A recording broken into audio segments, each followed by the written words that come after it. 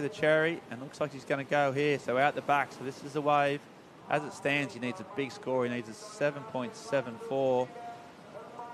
And yet again, most of the waves he's been getting, it just had this really flat section out the back.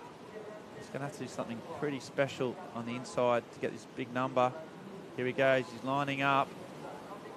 There's another snap. I mean, he's surfing well. He's surfing strong, but the wave, and there he goes, big, oh, and he oh. lands it. Oh my God! So that was on the rocks. That was a 7.74 he needed, and he's claiming it.